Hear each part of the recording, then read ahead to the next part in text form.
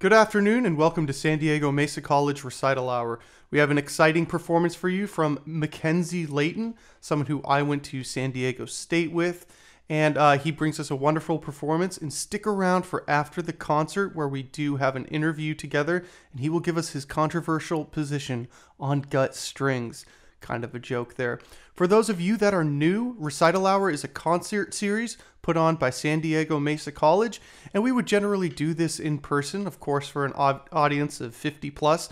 But uh, since times are changing, we are doing this fully online, and anyone can check this out from anywhere in the world. So I hope you enjoy what you see, and if you do enjoy it, please come check out a future concert on the San Diego Mesa College Music Department YouTube page. Enjoy the concert and see you next time. Hello, everyone. Welcome to the show. My name is Mackenzie Leighton. This is Ed Kornhauser, and we're going to play some music for you. Uh, this first song is a song by Ed. This is called The Shuffler.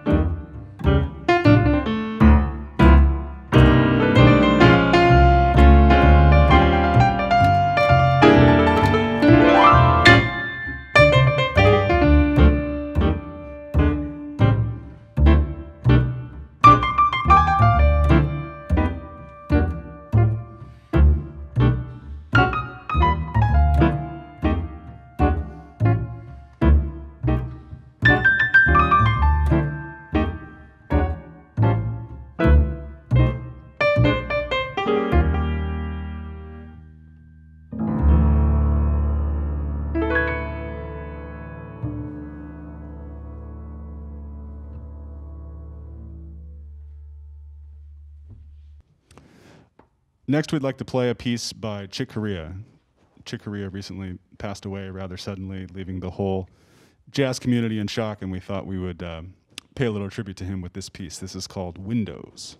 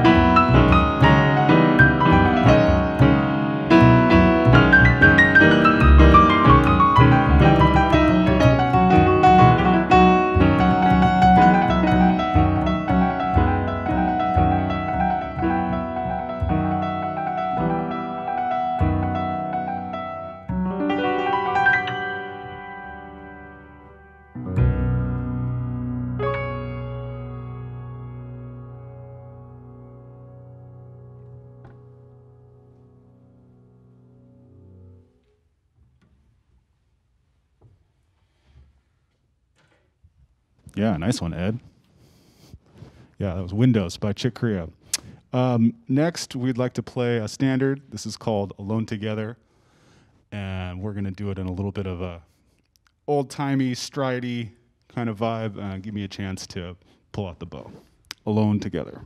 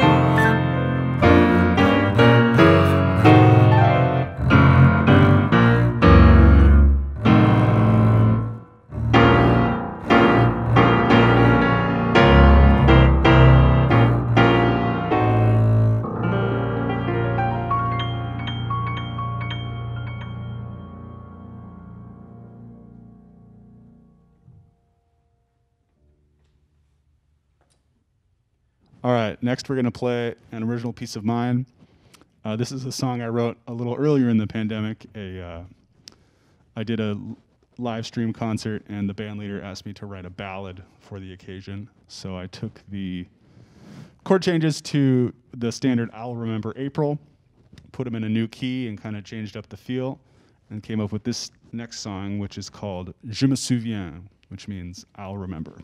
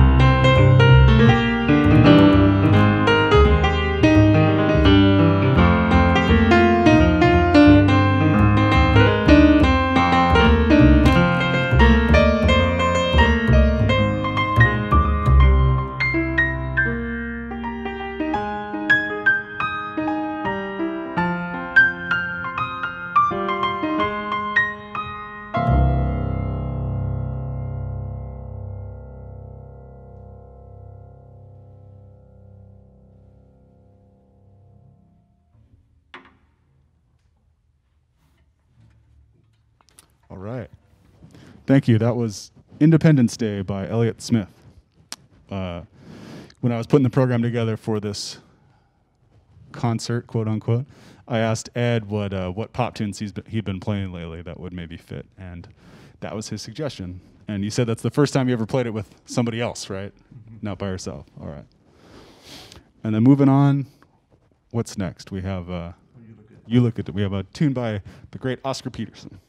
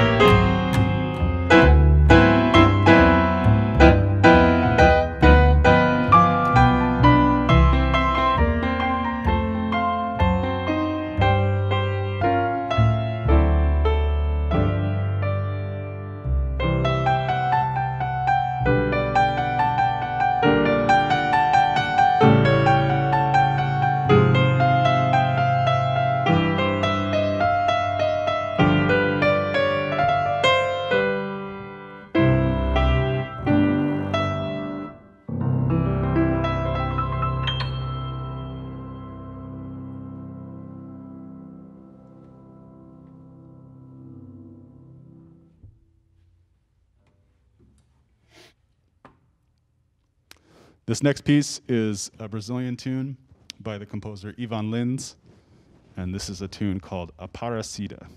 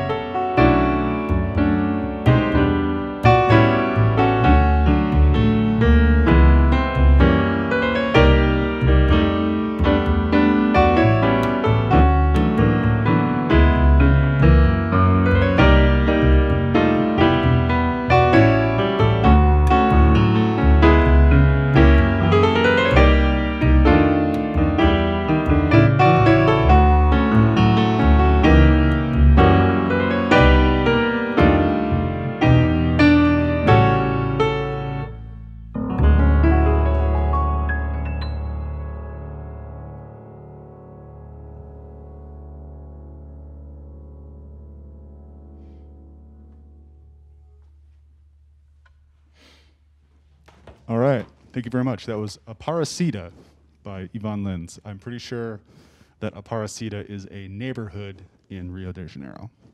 But my Portuguese isn't that good, so don't quote me on that. No, it's a parrot, a parakeet. Yes, it's a parrot, it's a bird, parakeet. yes. Sorry, do not put that in, whatever that is. Sorry. That was terrible. Doesn't even make sense. thank you very much uh, for, for listening to us today. This is Ed Kornhauser on the piano. My name is Mackenzie Leighton on the bass. Ian Tordella behind the camera. And we're going to conclude with an old standard. This is This Can't Be Love. Do a little intro. And, yeah. Thank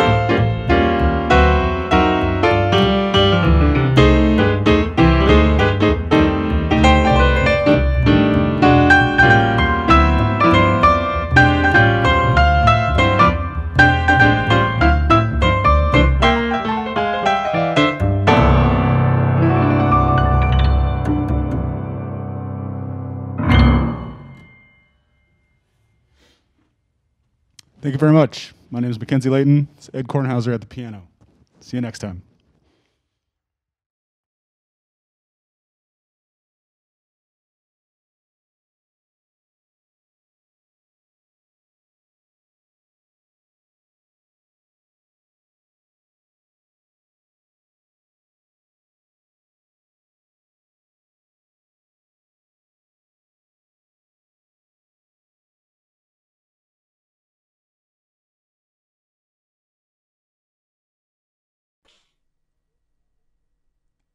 Well, thank you so much, Mackenzie, for that wonderful performance. Please introduce yourself to the audience in case they haven't seen you. Oh, thanks so much, Ian. Yeah, my name's Mackenzie Leighton, and uh, I'm a bass player here in town, and that was Ed Kornhauser playing the piano with me. Yeah, uh, friend of Recital Hour, I would say. Both you Yes. and Ed seem to pop up, uh, whether I book you guys individually or you're part of another group. You guys seem to pop up every semester, so we're very thankful for you guys joining us. Um, so, yeah, uh, give us a little background on who you are and why you chose this particular set of repertoire to share with us. Sure. Um, well, okay. So my name is Mackenzie. I grew up here in town. I grew up in Coronado, actually. I went to the uh, Coronado School of the Arts. They sort of have an after-school music pro- program there. And then, um, let's see, went to San Diego State. Did you? Did you go to San Diego State? Yeah, I think, you know, it might not have been you, but there was a, a guy who looked exactly like you. Oh yeah, you know there were two of us at the time, same thing, so it could have been either. So for those of you unsure, you know, why do I book Mackenzie? Yes, because we were in the same kind of set of music students suffering through San Diego State together. That's right. Yeah, you know it's funny though? Actually, I don't know, know if you know. My bachelor's is actually in um, geography. Oh really? Yeah, I always like to tell people I uh, I chickened out because you know the music degree is second only to electrical engineering in terms of the number of units you need. Okay, so I my mine was a little bit different of a journey because I joined as a business major, and I did get two ah, majors there. So I got business administration, management, and music. And people always would ask me, it's like, you know, business is like the real major, but music's cake for you, right? Because you're a good musician. I was like, my God, no, it is so much harder than the other majors. Right. So, so I had a similar experience where I was like, kind of music, kind of not, and then I went full tilt and was like, okay, I'm gonna have to be at SDSU for a very long time. Right. Yeah, no, I ended up getting a music minor, which was which was cool. I got to take all the jazz classes, play in all the groups, and get all the benefits. And I got to skip out on some of the ear training classes and everything. Okay, 'cause- Maybe, you know, ul- ultimately would have been like eating my spinach or something, but uh, at the time I couldn't really see that. Well, you got it anyway, and I remember you were in like the theory classes and stuff, right? Yeah, at the beginning, because I, I started as a music major and then you know chicken Yeah. out and Okay. switched to something else. Well, hey man, you're still here. So that brings us to our next question. Uh, you know, well-known bass player, geography major. Um, but what do you do for a living? Uh, is music your full-time career? Well, yeah, I mean, now is an interesting time to be asking that question. Yeah. Right. Um, Right. So maybe I'll answer of, sort of a give you a 2019 answer. Um, so yeah, I do I do music full time, but what that ends up being is like you know you could say I have four or five part time jobs on top of the freelance performing stuff. You know, so I perform. I book a few gigs a year. That's not my usual thing, but I do book a few gigs a year, and then I'm a sideman with a bunch of projects. But then I teach, uh, I coach the basses at a couple high schools in the Poway district for their orchestra class, and then I'm um, I'm adjunct faculty at uh, Cal State San Marcos and at Miracosta College. Yeah, and I think if you are a, a budding musician, take that to heart. Uh, you're probably not going to have one job that takes care of everything. Like Mackenzie and myself, you're going to be four jobs deep and scraping by, but you're going to love what you do. Right. Well, that's you know I always joke I really like um, I like to do theater gigs because you get to go to the same place at the same time right. every day, and it's actually a very novel thing for us when you're running around. You know, you go you're playing at a different place every day of the week. Yeah, I just, you know, uh, you're in that position when, you know, last time you had to go get a car or something like that. You're like not concerned with anything to do with like how powerful it is. And you're just like, I need gas mileage, man. I'm going to go for that Prius because I'm all Like, over. fit. Yeah. Bring the, bring the bass to the car dealership. Like, don't even talk to me. Let's see if it fits, Yeah. and then, and then we'll talk. Is this adulting? I guess it is. Wow, we're going off on this tangent, man. Life, everybody. Life. All right, so one of our focal points this year is kind of diversity in music, and how do you affect think that uh, music is affected by the diversity of players, of people, different genders, races? Um, I mean, in your field, it's much more prominent from the get go. Uh, jazz being one of the almost original black art forms in America. Right. Yeah, that's a good, that's a great question. Um, so yeah, jazz is kind of a good, maybe I don't know, case study for this or something. As Yeah. as, like you know, it's the it's the music of Black Americans. You know, it's sort of the music that could only have sort of come about in uh, in America, where we had this sort of co- combining of of different cultures. Um, but even that, you know, like maybe maybe it was a like you know racially somewhat diverse music, but there was still sort of the the same like gender lines of of you know discrimination or whatever in the, Yeah. in jazz for a long time. Um, and there would, you know, it was basically like all the band was all dudes, and then there was a lady singing. Like, Yeah. like. But say in the last, I mean, there have been great women musicians for as long as there's been jazz, but there's been, uh, say, in the last 20, 30 years, a lot more have been sort of coming to prominence, like instrumentalists, you know, and just it's nice to see women getting celebrated for their musicianship and not just being like a a focal point, you know, something for the crowd To look at. look at. Right. No, I hear you. I find music, uh, in a way, it's it's very uh, liberal in the way it kind of pushes these ideas forward, but at the same time, when you're actually in it, it can be quite conservative. Just the way everything is approached. Yeah. yeah. so uh, it's it's an interesting There's- thing. Go ahead. I was gonna say it's like well, music music is at its core. I mean, at least it wants to be a meritocracy, Yeah. right? Mhm. So it's like you call the best drummer. Doesn't matter if it's Yep. a lady from wherever or you know the dude you grew up with. You know what I mean? You call the call the best drums. But I think that gets sort of muddied sometimes by outside influences, whether it's like a concert promoter or or a record exec or I don't know something. Absolutely. I mean, it's the second money gets involved with anything, you know. right. different decision making processes start to go on. All right, so now that we've handled uh, the the smaller controversy, maybe we should attack the bigger one. You've mentioned in the past a controversial position on gut strings.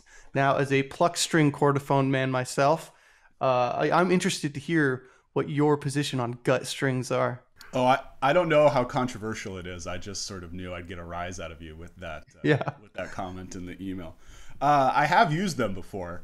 Um, I did a I did a play that was sort of it was like a Sun Records era sort of thing, and so I had some gut strings on my bass for that, so I could get into some rockabilly slap, you know. So guts guts are good for what they're good for, but I think for they don't always uh, um, they become really high maintenance. You know what I mean? Like you get the little whiskers and like you literally get in there with the fingernail clippers and you're like cleaning up your strings and and so I think they're a little they're not quite too practical for, uh, Right. Most things. I think if you uh, happen to have a period instrument and you are in a period ensemble, gut strings would be great. And I'm speaking from like a guitar playing perspective. You know, if you're doing like lute music or like baroque guitar or something like that, Yes. they're great. Um, you know, the tension is totally different.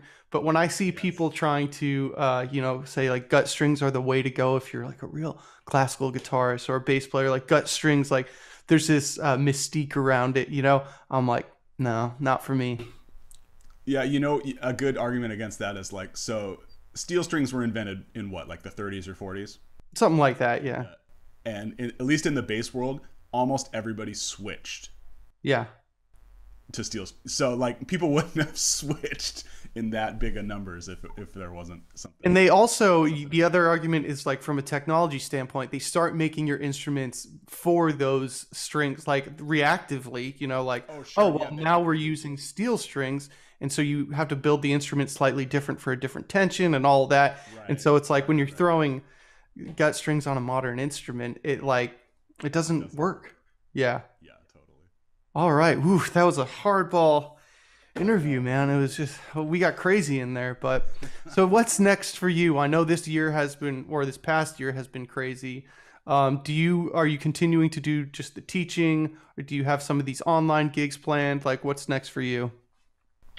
Yeah, uh, I've actually been really fortunate. I play. There's a local guitar player, Peter Sprague. Yeah, he's been doing a lot of live streams. Um, he's got a great recording studio at his house, and last year he sort of set it all up um, to do really nice live stream. Yeah, we had him in last semester, and uh, oh, you did. I plan on using. Yeah, and then I spent the after I turned off his interview another hour with him discussing live stream stuff, and he just walked me through what I need to do. That dude is a genius, man. Yeah, he's so smart in, in, in this unassuming yeah of look. But um, so it's a great setup in his studio. Like he's got all these isolated rooms that you know just isolated for sound issues, but it kind of works out great for COVID era stuff. Um, and he got a he's got a camera in every room. He just upgraded this drum shed so like more people can be involved. Because I did a few where I was out playing electric bass outside, which was fun in the summer. But I definitely had to borrow a sweater for one of them. Yeah. Um, but anyways, so that's sort of been a great musical outlet for me. I've been really happy to be be a part of most of the the live streams he's been doing there.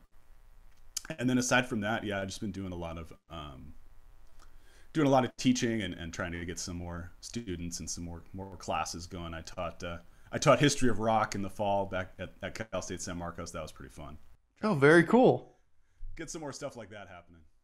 Well, it's been great seeing you, man. Thank you for coming to our class. It was a wonderful experience, and I'm sure the uh, kids are going to get a lot out of the interview.